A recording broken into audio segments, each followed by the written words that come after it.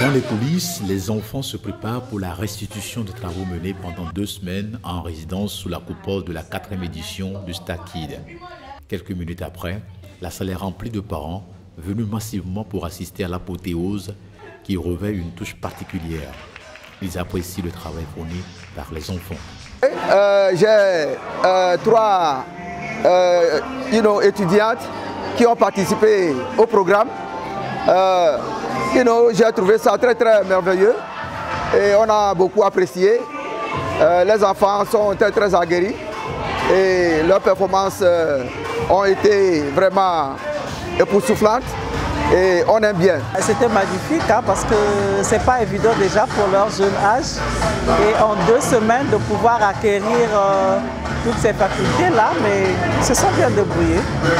Cette année, je me dis que, disons, ils sont en train de grandir. Hein. Hein? Skid, euh, Star Kids est en train de vraiment grandir. Mais cette année, on a vu euh, un effectif encore plus élevé d'enfants et surtout avec les prestations à un niveau plus élevé. Je me dis que jusqu'à l'année prochaine, on aura encore des surprises. Avant d'en arriver là, il a fallu deux semaines de résidence dans plusieurs disciplines artistiques. La danse, la plastique, le défilé de mode.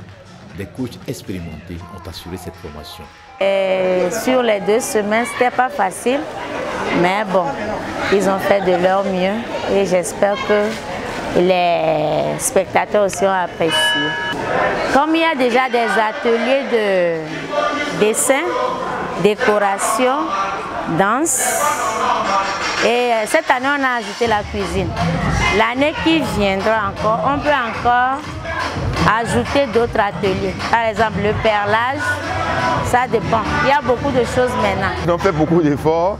Pour deux semaines, c'est petit, mais pour ce qu'ils ont donné, c'est beaucoup. Pour la promotrice, le pari est gagné pour cette édition de Star Kid qui a tenu toutes ses promesses.